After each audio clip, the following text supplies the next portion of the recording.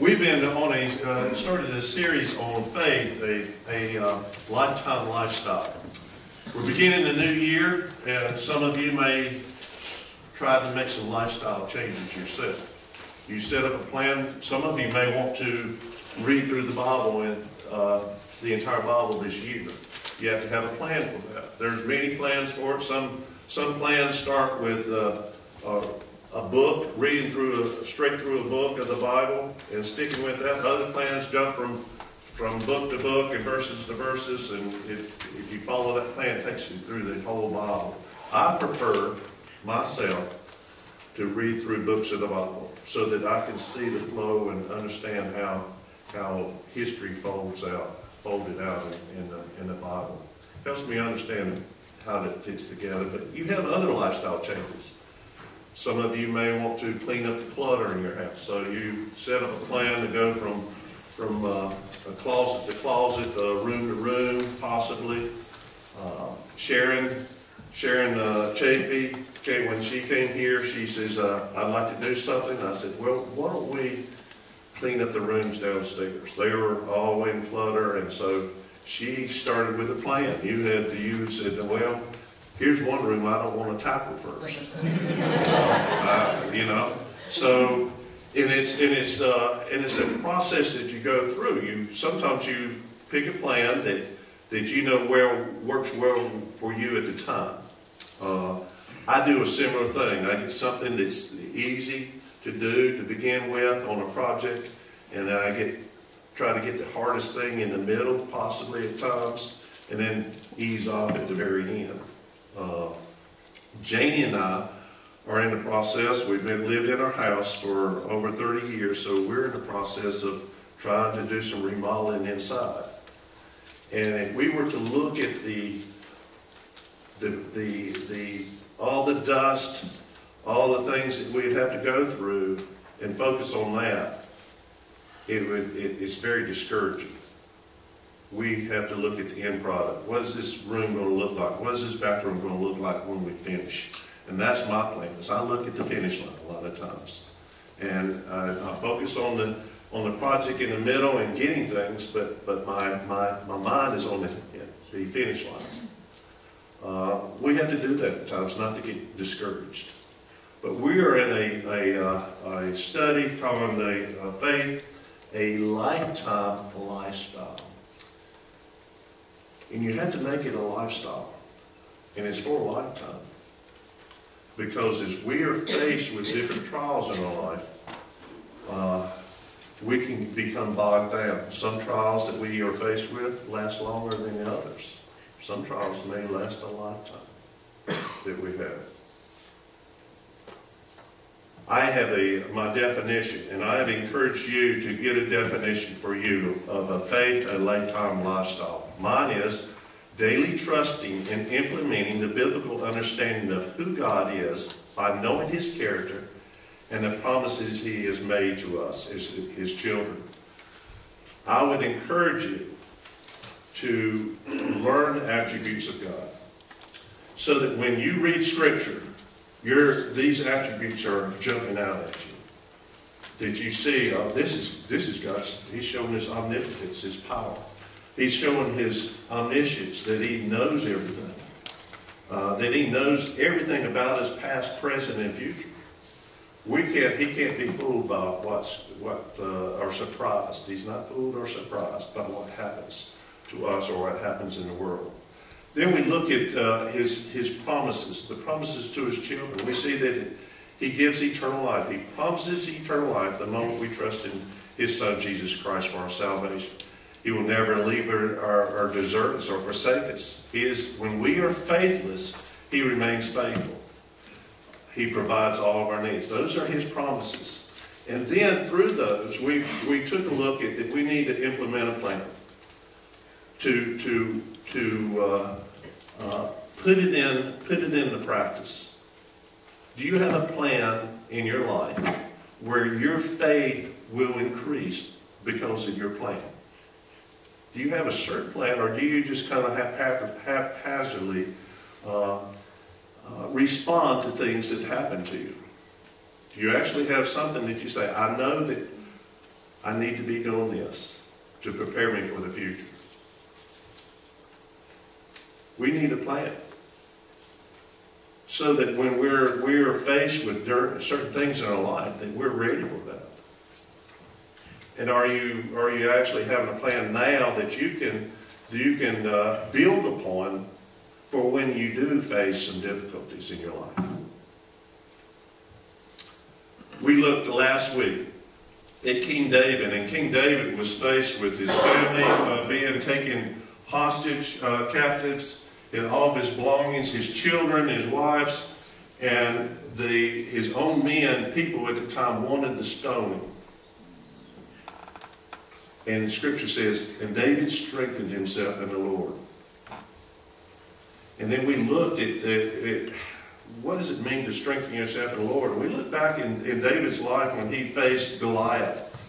And, and he was brought before the king Samuel. And, and uh, he says, hey, I'll go fight Goliath. And, and Samuel says, no, you're, you're just a boy. You're not trained. And then King David reflected upon God's faithfulness in his past. He says, you know, when I was a shepherd, there was bears, there were lions that came and tried to kill the sheep. And I went out, and God helped me to kill the bears and the lions. The same God that helped me kill the bear and lion will help me prevail over this Philistine.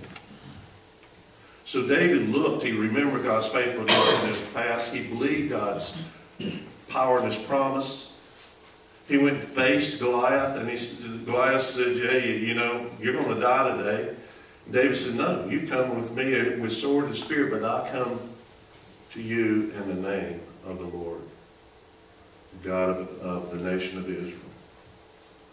He saw God's guidance. We see him, saw him pray and ask God for, for guidance when he was, after his family was called and after he cried and the people wanted to stone him, he, he sought God's guidance and God answered him.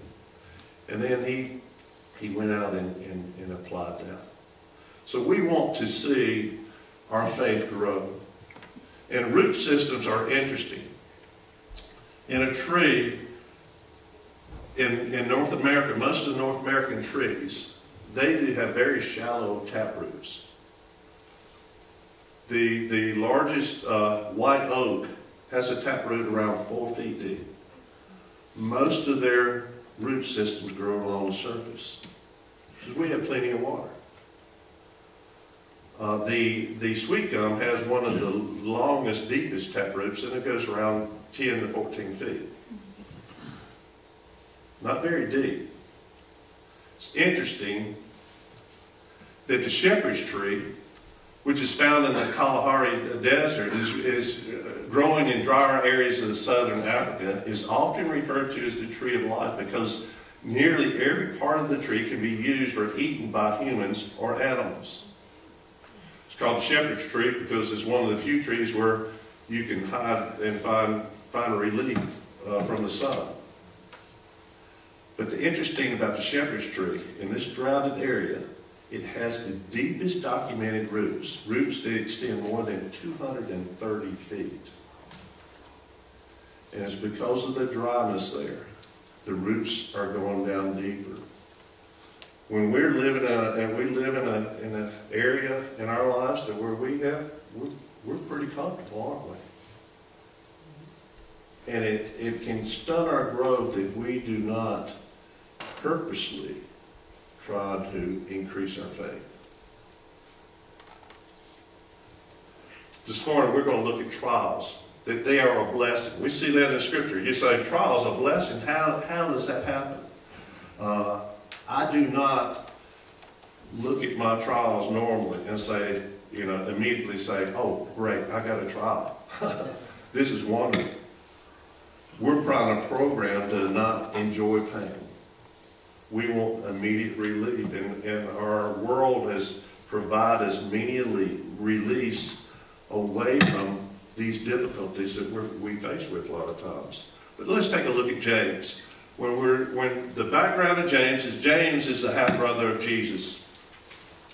Now I've talked with Bob, and Bob's done some study on this, and he he, he does he go there. But but for purposes of understanding, you can talk with Bob later while that's not the case. But Uh, But we'll, we'll, uh, we'll look, for the purpose of this morning, we'll look at him as half-brother of Jesus.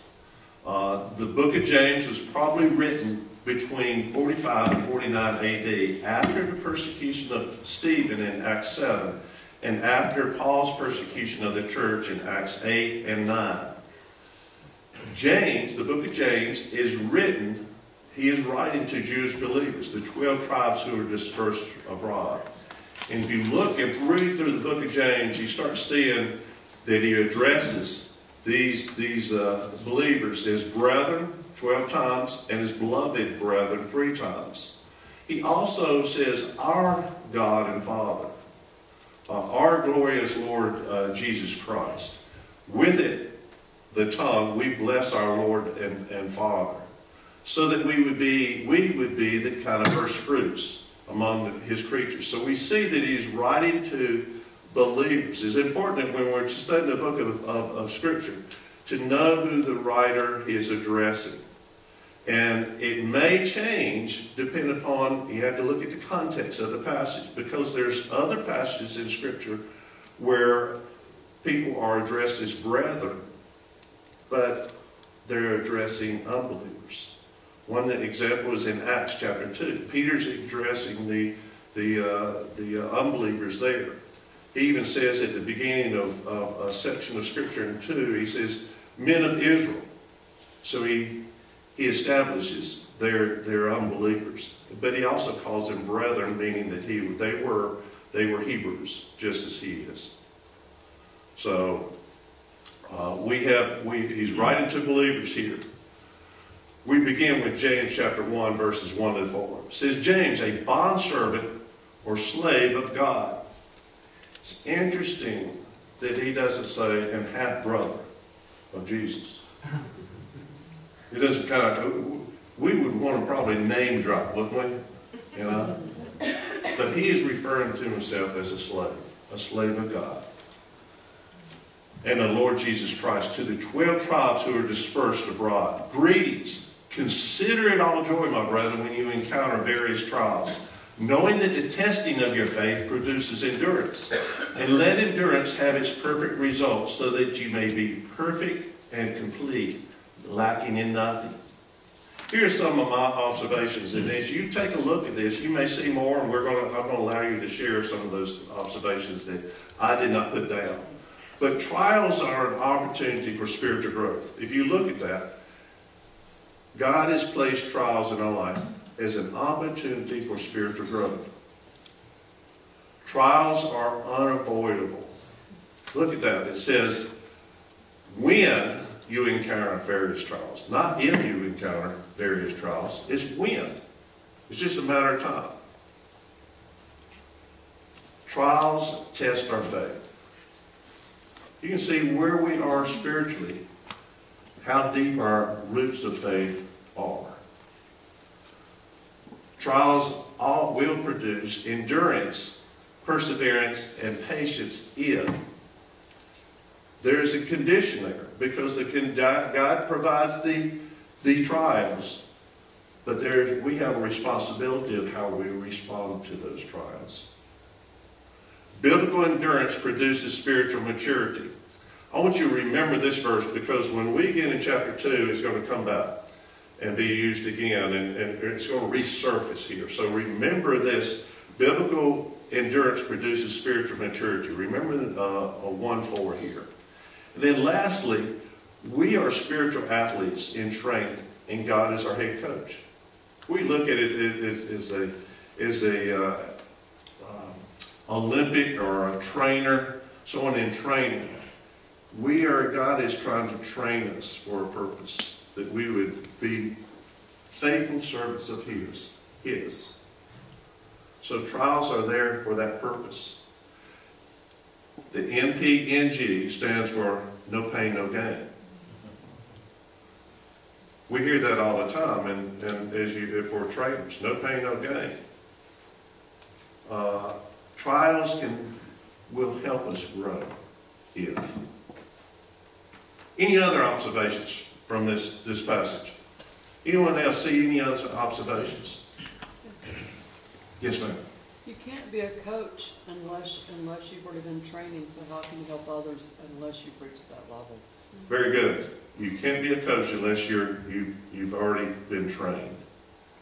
We don't really spend much time looking at the word perseverance. We're in such an immediate gratification society, so I think it would do us well to really understand perseverance is the long haul. And somebody in training would understand that, but That's right. That's right. I ran some when I was younger. And they say, long, distance runners say there's a, after you get past, past a certain, uh, uh, distance, your endorphins kick into gear. It happens more, I understand, for women than it does for men. Mine never kicked into gear. It was pain all the way. And so I, I shifted to running just a half mile, uh, because that was a good distance for me. I wasn't fast, and I didn't, my endorphins didn't kick in for those long distances, so I said, oh, let me get this thing over with, you know. So it was kind of an intermediate speed there. Any other observations? Jim? He was a bond servant. the difference between a bond servant and just a regular slave is that it was his choice. Mm-hmm.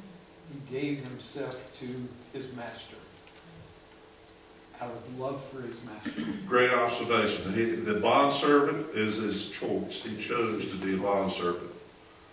Chose to be a bondservant. Anyone else?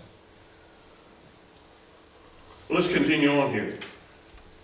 Just as the lack of water helps produce the deep roots of the shepherd's tree, trials will help produce deep roots of faith in a believer's life. They'll be there. These, these oak trees, the poplar trees, it doesn't take too much, uh, uh, of a drought for them to start seeing uh, suffering because of it. In pine trees. But this shepherd's tree has those deep roots. Approach, our approach to trials will determine the depth of our faith. I have uh, some definition. Trials, uh, in, in James, we see that trials are, they are a temptation to cease trusting and obeying God when our faith is tested. We look at the book of James, he's trying to prepare us that when we are faced with trials, when we're tested, that we'll be faithful when tested there. We have origins of trials. We have self-inflicted. I, uh, I knew a man that uh, bought one of those about years ago, had the, bought a conversion van, real nice brand new conversion van. He had five children, you know, plush inside. Uh, he was making monthly payments. Five years later, he finished the payments, but not too long after that, his, his engine blew up. And uh, he took it in, had it towed in, and, and found out he had, didn't have any oil in the engine. He never had an oil changed. So he had to get a brand new engine for it. Was a self-inflicted trial.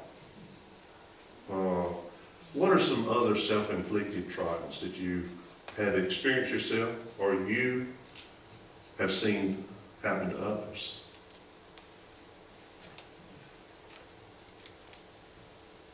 Anyone? We had a teenager in our, in our youth group years ago, this is just 20, 25, 30 years ago, and he was uh, complaining about his high insurance rates. And back then, he was paying $250 a month for uh, just liability on his car, and it was an old car. It was an old car. I says, why don't you change insurance companies? He said, I can't. I said, why? He said, I have too many tickets, speeding tickets. So it was a self-inflicted problem that he had. And that's what we, we need to understand. Are they, uh, my trials that I'm going through, are they self-inflicted or are they people-inflicted? There's, there's people that cause us trials. Uh, If you are, if, if, if someone hits your car and, and hurts you, that's not your problem. I mean, not your fault. Self-inflicted by somebody else. or consequences of sin in mankind and the world. Uh, we have the we have some Jerry and I had some friends of ours that lost their home during a hurricane down in Florida. But that's a that's a consequence of sin in the world. Uh, Satan inflicted or God testing us. Then you have examples of trial to persecuted for your Christian beliefs, uh, uh, financial uh, loss of job or income. How about inflation? Inflation's hitting us. Uh, that could be uh, those. I mean, that's affecting all of us. Some trials. Some people have more trials and more difficulty because of that than others.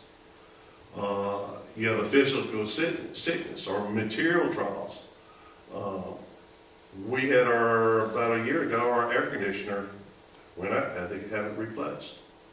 Six thousand dollars later, it's it's it's, it's up and running but they, it can cause difficulties, those things. So, Dr. Thomas Constable says, trials are the means that God uses to make believers the kind of people that brings honor to his name. Testing implies demonstrating the true quality of something when undergoing a trial. The true quality of gold becomes evident when the refiner's heat heats gold ore over a fire. The Christian's belief in God's power and promises becomes apparent by the, by the way he or she responds to trials. Trials test our faith in the sense that our trust in God and obedience to God are being stretched to the limit. Endurance describes the quality that enables a person to stay on his or her feet when facing a storm. If we submit to these tests, they will eventually make us more mature, fully developed, perfect, and complete, developed in every essential area of our lives. Perfect refers to a person who fulfills the purpose for which God created him or her. Those who fully attain to their high calling. Trials should produce endurance, steadfastness, perseverance, and maturity in a believer's life. when I look at this, I, I, I, I, see three categories that are revealed, are three types of Christians that trials reveal. The victim, the arrogant, and the last, the, it should be the learner or, or and disciple there. Uh, you have someone who's a victim. What are some characteristics of a victim? somebody else's fault. Uh, what's the problem with being a victim? Lori? They don't get past it. They don't, they just wallow in the event. They stay in the event. They never look for help or why me? Why is this happening to me? And let me tell you something. I don't know if you're like me, but I bet I played the victim. I played the arrogant. Mm-hmm. I've, I've been these, these, these people here. And I see myself, and there's, there's times when, when I go through a trial that I may be playing the victim and say, Gary, this, you know, this is what you need to do. Or the arrogant, I just, I tried to do it on my own. I like to fix things. If something breaks, I'm geared to fix things. I'm wired. I have the tools to do it with. But I need to be careful that this doesn't jump over into my spiritual life either. That I want to fix this. I can do this on my own. I need to realize how weak I am and how powerful God is. What characteristics does the victim Christian or the arrogant Christian display when faced with trials. Examine your own life. Are there times when you say, I can, uh, you play the victim? Are there times when you, you play the arrogant? I don't need help. Pride. Pride is big, big on that. Pride is big. The other side is helplessness. What was that? Victim displays helplessness. Yeah, they have this probably helplessness, or they, why is it, why is this happening to me? They just wallow in their, their self-pity a lot of times. How has human progress helped produce today's victim Christian or arrogant Christian? How has it helped produce? Credit cards. How does credit cards help produce? And bring us to a point where we say, we don't need God. You you can afford things that you really shouldn't be affording because you don't have the money yet, you run into the credit. Yeah, you run up to credit. You're not looking at God to provide. What is, what does uh, Philippians 4.19 say? And my God shall supply all my needs according to his riches and glory in Christ Jesus. Frank McNamara went into a restaurant in New York, ate his meal, reached in his pocket, and found out he forgot his wallet. Thankfully, his, he called his wife, she came in and bailed him out. One year later, in 1950, he and his friend walked in back, went back into a restaurant and paid for their meal with the diner's credit card.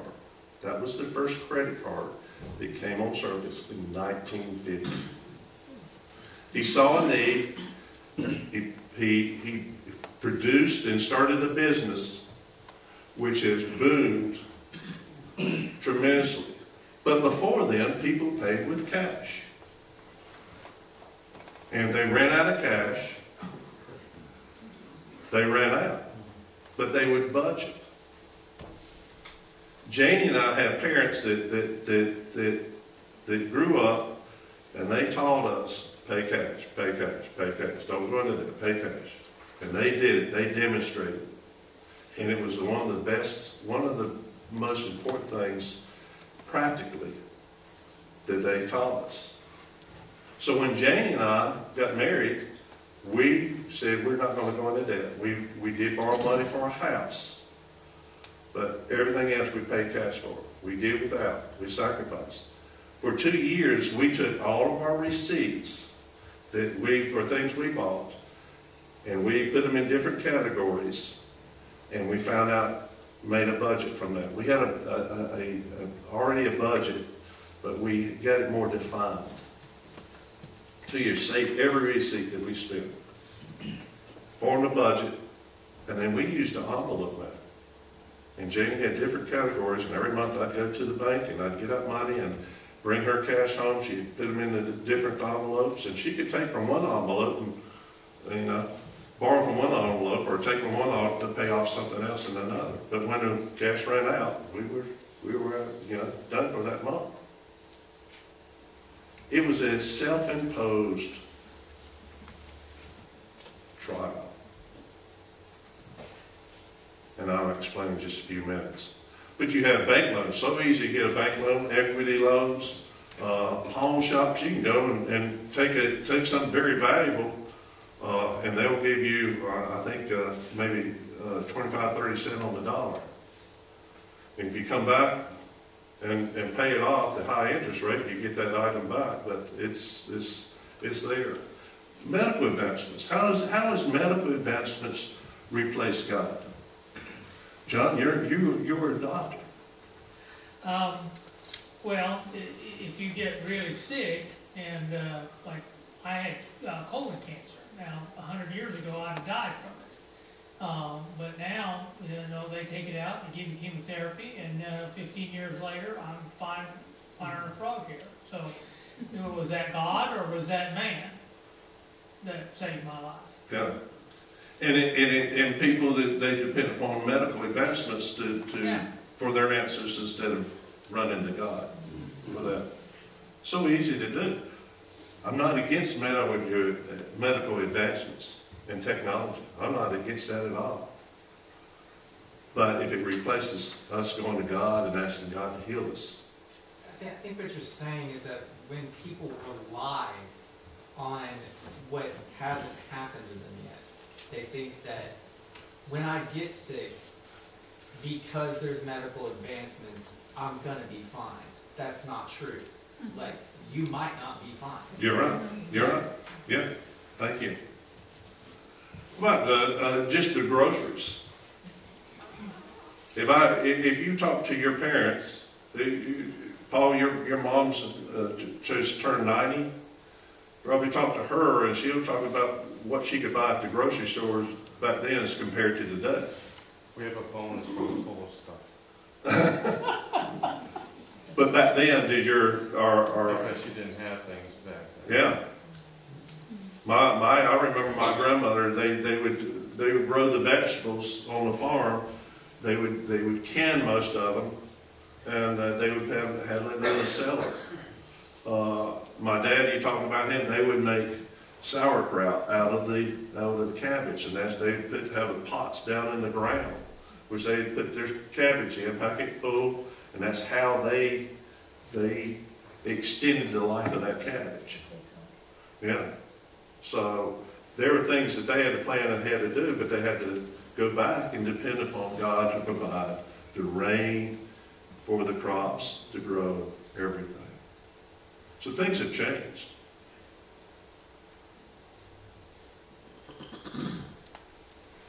James 5 uh, through 11, 1, 5 through 11 says, But if any of you lacks wisdom, let him ask of God, who gives to all generously and without reproach, and it will be given to him. But he must ask in faith without any doubting. For the one who doubts is like the surf of the sea, driven and tossed by the wind. For that man ought not to expect that he will receive anything from the Lord, being a double-minded man, unstable in all his ways. But the brother of humble circumstance is, is to glory in his high position, and the rich man is to glory in his humiliation, because like flowering grass he, he will pass away. But the sun, for the sun rises with a scorching wind and withers the grass, and its flower falls off, and the beauty of the- its appearance is destroyed. So too is the rich man in the midst of the pursuits of his pursuits will fade away. Wisdom comes from God, but we, we must ask without any doubt. God gives wisdom generously to his children. God never expresses disapproval. Without reproach means disapproval when we ask him for wisdom. How many times have your children, has your children come and ask you for something several times a day, this, you know, the same thing, and you say, I already gave that to you. I already did that for you. Why are you asking me again?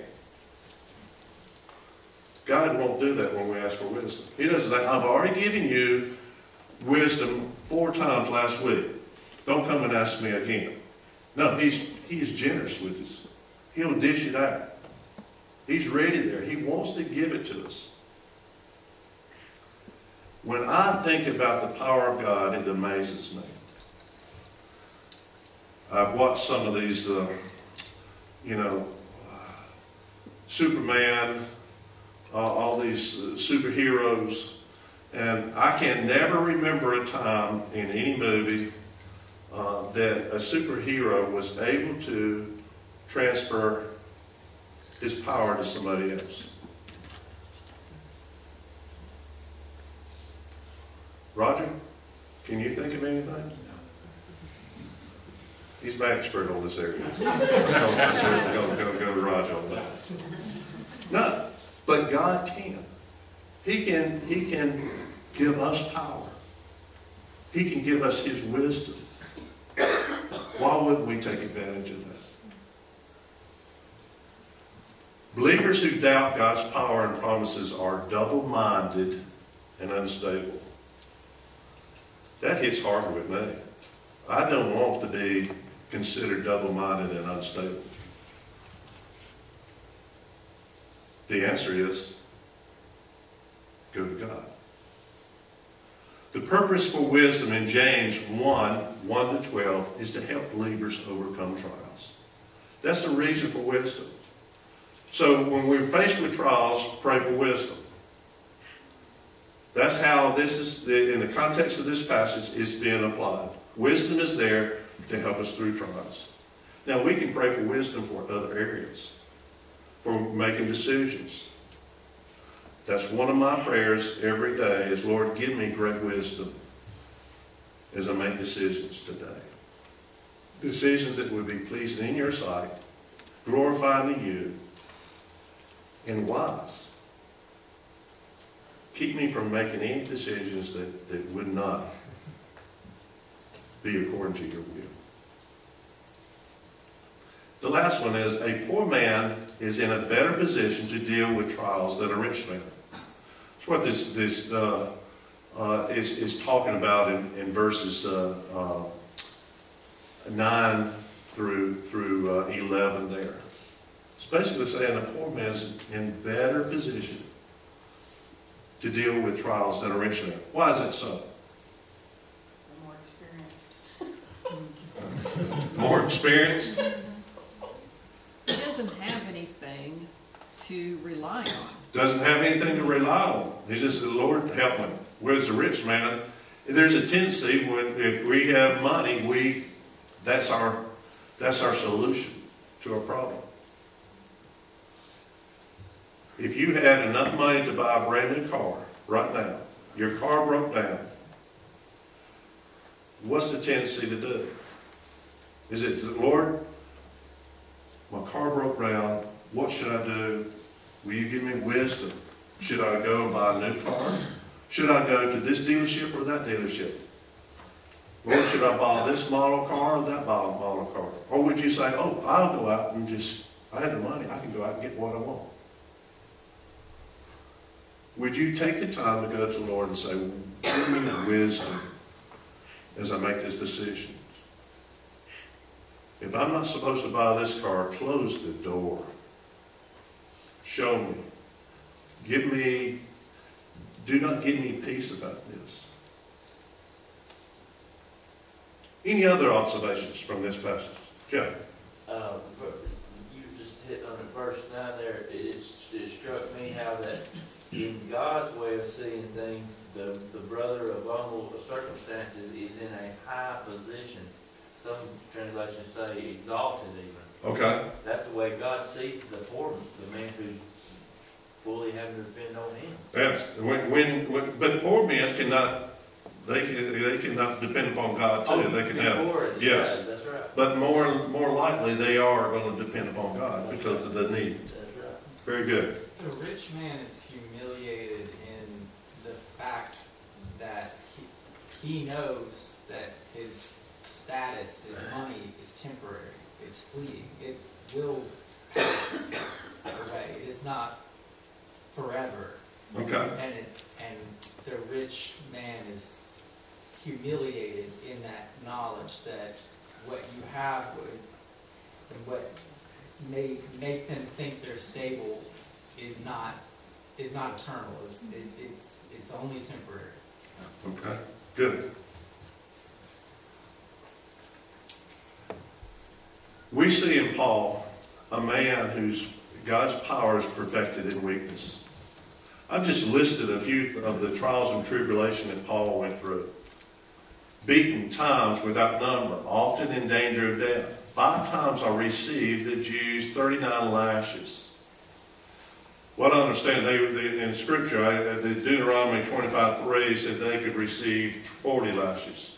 But I think they, re, they reduced it down to 39, just trying to make sure they don't go over the 40 there. Three times I was beaten with rods. Once I was stoned. Three times I was shipwrecked. A night and day I have spent in the deep. Dangers from rivers, dangers from robbers, dangers from my countrymen. This man was went through trials. But what's amazing in 2 Corinthians 12, 7 through 10, he says, Because of the surpassing greatness of the revelations, for this reason, to keep me from exalting myself, there was given to me a thorn in the flesh, a messenger of Satan to torment me, keep me from exalting myself. Concerning this, I implored the Lord three times that it might lead me. And he said to me, My grace is sufficient for you, for power is perfected in weakness. Most gladly, therefore, I would rather boast about my weaknesses, so that that power, that the power of Christ may dwell in me. Therefore, I am well content with weaknesses, with insults, with distresses, with persecutions, with difficulties for Christ's sake. For when I am weak, then I am strong. Because he was allowed, Paul allowed God's power to work through him, depend upon him. It's amazing. He's a, he, he is a, he's a great person to go through, it, to model after. And say, Lord, allow my weaknesses to be strengths. I want to depend upon you for that. The disciple learns to grow stronger when faced with trials. What characteristics would a disciple, a learner, a pupil, display when faced with difficulties? What would you say they would, they would uh, display? They're teachable. Teachable. How does that, how does that uh, pan out? To be teachable, what would, what would you, You want to learn from, from God, from others, what, what would help you. okay, It requi- requires a humility to, to say, I don't know what to do, or I don't have an answer. it's so easy to get a, to get, to get uh, a new item and it has uh, a bunch of moving parts and different parts to put together. Uh, I have a tendency to place the instructions off to the side. And look at it, and I, I, I can figure a lot of things out, but, uh, s- you know, my, my dad had a saying when, when, uh, when I would try to do that, said, when all fails, read the instructions.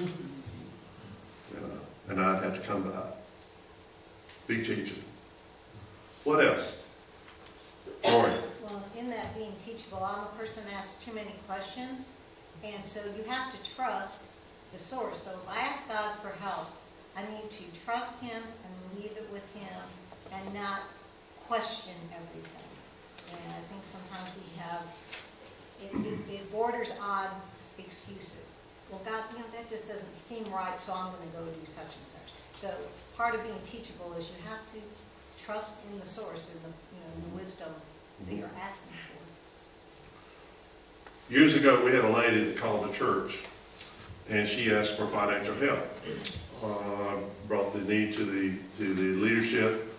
They said, okay, we'll, we'll, uh, we'll write out a check for her, uh, some of her rent, or it, was a electric bill or something. It was, I think it was in around hundred and eighty-six dollars, if I remember correctly. And when we do this, we, we will, we try to use it as an opportunity to share the gospel. I shared the gospel with her. She professed to, to, to know and have trusted Jesus Christ for, for salvation. Uh, she was not involved in a church. I says, you know, what we want you to do, you know, if you ever need, have a need again, we want to see you involved in a church. And our policy of the church is if you come back for a, a need a second time, we have men in our church that are very uh, educated in this area. We need to sit down, take a look at your checkbook, look, look at your finances to see how we can help you on that. Her response, response to my that was, no one can deal with my checkbook better than me. She wasn't teaching. About three months later, she called Dr. Keenan. And I repeated, are you, uh, where are you going to church? I'm not going to church. I says, well, would you be willing to submit to some leaders, take a look at your checkbook, help you with your finances? No, she hung up. She wasn't teaching. Look at areas, teach, uh, the teachability creeps up uh, with me. And I, and at times I think I'm, I'm teachable and other times I'm not. Just ask Jane.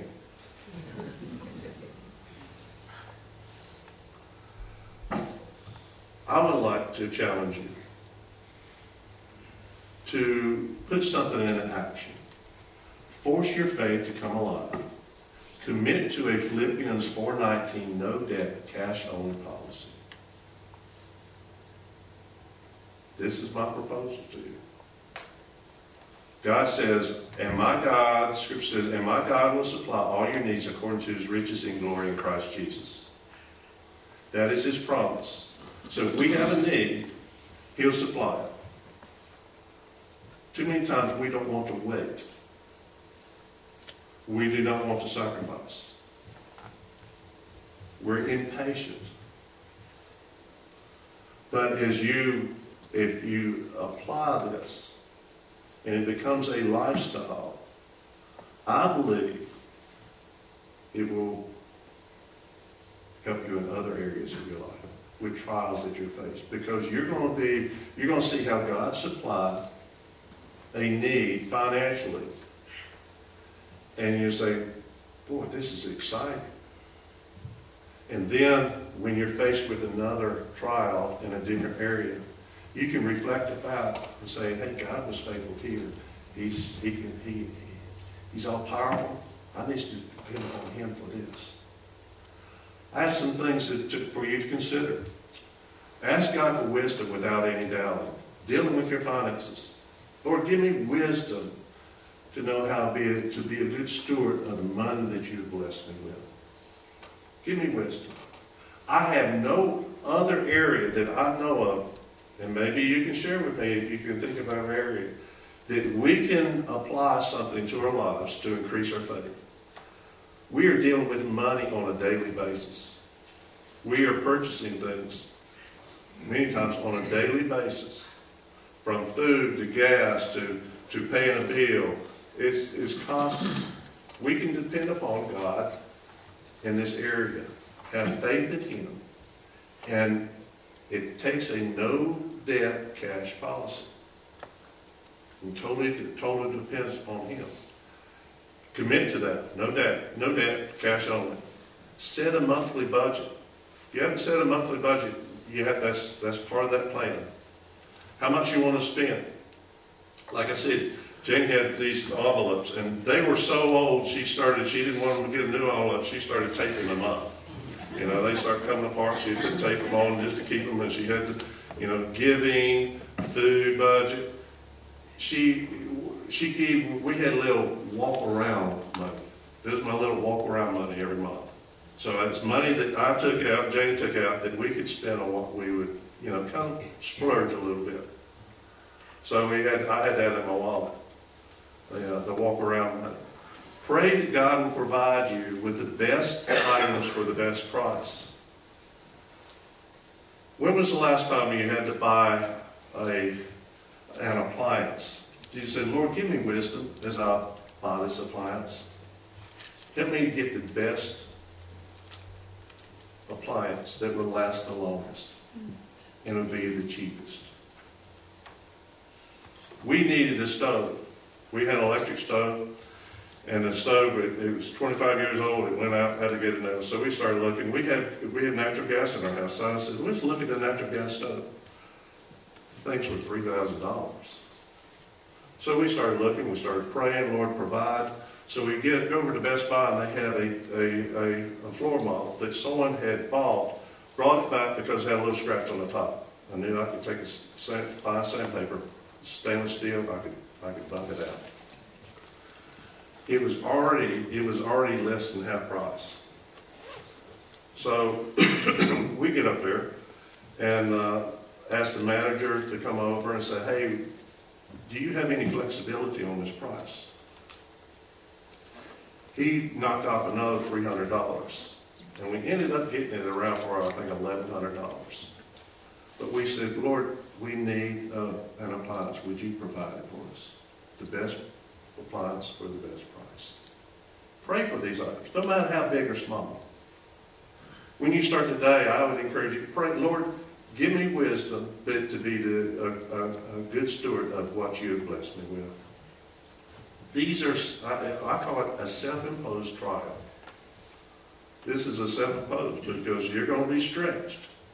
If you don't have the money, you're going to say, Lord, we, I, I'm dependent upon you for this. If you stick with your no debt, cash only policy. It's a self-imposed trial. Be a cheerful, save, sacrifice, and work to be debt-free. It takes work, Gus. Many of you have done this, it takes, it's constant. It has to be every area of your life. We would go to ball games, I would come home from work, Janie would have the hot dogs on the grill, we'd have to go to ball games, I'd crank up the grill, put the hot dogs on, stuff them in, in buns, wrap them up in aluminum foil, we'd put them up and we'd head to the ball, ballpark.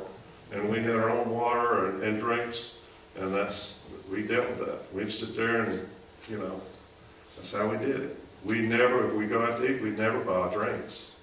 They was too expensive. Water, water, water. They'd go around and the wait- waitress would do you want? Water, water, water, water. Why didn't you just, every, one of you just say, we all have water, you know? Because they knew. Be a cheerful giver. Learn to discern the difference between a need and a want. Take good care of your possessions and wear them out before purchasing a replacement. That's the best way of saving. Wear it out. Pray for peace about your purchases and open and for open and closed doors. It's amazing how many times the Lord has closed a door for a purchase that we wanted to have.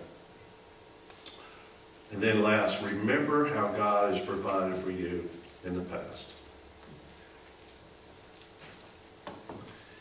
Can you think of any others? I know some of you have- have been doing this. Can you, uh, are there any other things that, that pop up in your mind that you would do? Rick? God provided for you in the past. Thank Him for it. Excellent. Constantly be thanking God for his provision. Kathleen? When you do what you're talking about, which Rick and I've been doing since nineteen eighty-six, um, you sleep at night. You don't have to be concerned about how am I going to pay this bill because I spent more money than what I have. So you can go to bed and sleep.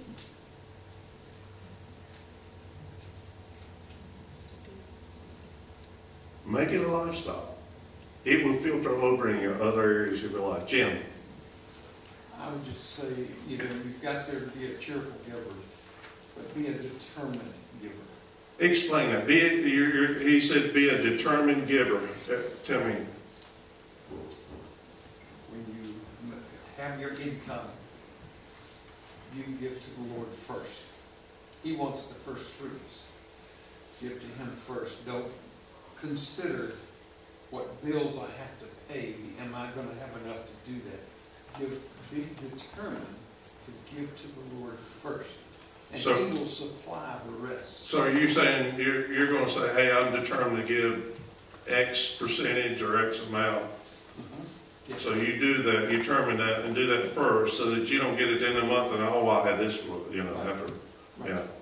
So, Gloria? Um, I, I'm speaking because I don't have this down pat, but, uh, the point I wanna make is, um, ask the Lord for creativity along with the wisdom to do this. Uh, by that I mean, uh, that things were getting tight and I said, Lord, I, I don't know what to do. Uh, and he said, you know, go meatless twice a week. You know, and I had little children at the time. Or do a, do a pantry dinner, you know, go through your pantry, because we all have more stuff than we need. And before I went to the store, like, I'm gonna, I'm gonna cook up some of this stuff, you know, and it was kind of a creative, crazy meal, but, you know. Uh, so that, that's what I mean by that. Ask the Lord for creativity. When you're going through, it, it's just another form of the word wisdom, but, um, especially if you have children who, who want things and maybe can't see your way through that, you can be creative. And, and all boils down to sacrifice. I was talking to a young girl years ago, she had just graduated from college. She was complaining about the twenty thousand dollar, um, uh, school loan that she had. She was living with a grandmother. She was only paying a hundred dollars a month for rent, for everything, food and everything from her grandmother. And, and I says, I know how you can pay it off in two years. She said, how, how? I said, she already had a job, a full-time job. I said, I get you a job in the evening, after you get off of work. And, and then seventy-five percent of her money, I said, put it towards paying off your debt. She said, she had no expenses, really. She says, I can't do that. I said, why? She said, I don't want to give up my lifestyle. Sharon, One thing that Floyd and I did, um, when we were first married, I stayed home and raised our children and homeschooled them and the whole nine yards. Well, that eventually ends. So when I started to go to work, we never made my money and part of the household income. We always lived off what Floyd made. So my money was extra.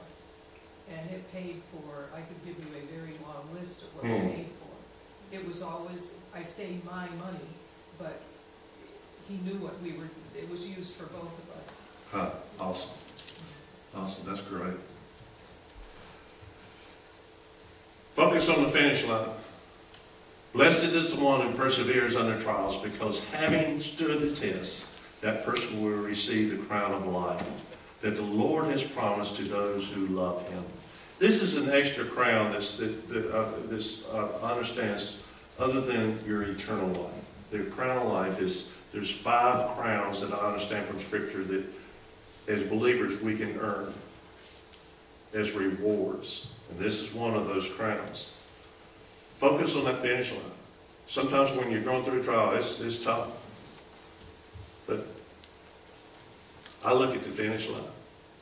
When we were working on the farm and, and it was 90-some degrees heat, I knew that there was a cold watermelon waiting for me mid-morning and mid-afternoon.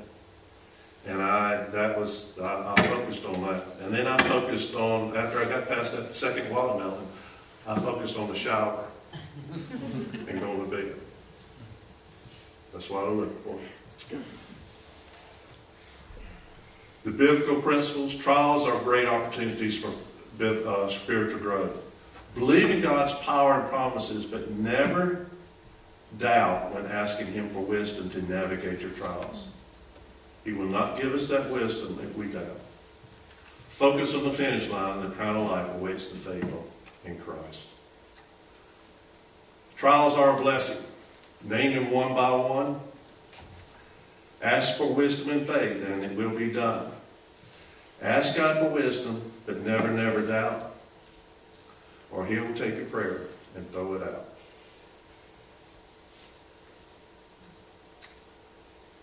Calluses form when mild but repeated injury causes the cells of the epidermis, the outer layer of the skin, to become increasingly active, giving rise to a localized increase in tissue. The resulting hardened, thickened pad of dead skin at the surface of the, of the skin serves to protect the underlying tissue. It's a process. And that's the reason I, uh, uh, for this, for calluses. And as you continue working, they build and build, continue uh, forcing yourself in this, this self-imposed trials. I would encourage you to consider that so that it will prepare you for the difficult times, more difficult times in life. Consider it all my joy, my brother, when you encounter various trials, that the testing of your faith produces endurance. Let endurance have a perfect result, so that you may be perfect and complete, lacking in nothing. God wants us to lack in nothing. And when we reach that point, go back to Paul and what he said. I am well content with my weaknesses, with insults, with persecutions. God's power is perfected in weakness. Seek his wisdom and power. Let's pray. Father, thank you for your word. Thank you that you provide trials there, that they're there for a purpose, to help us to grow closer to you, to be faithful servants of yours. Give us great wisdom to be faithful in all of our ways. In Jesus' name, amen.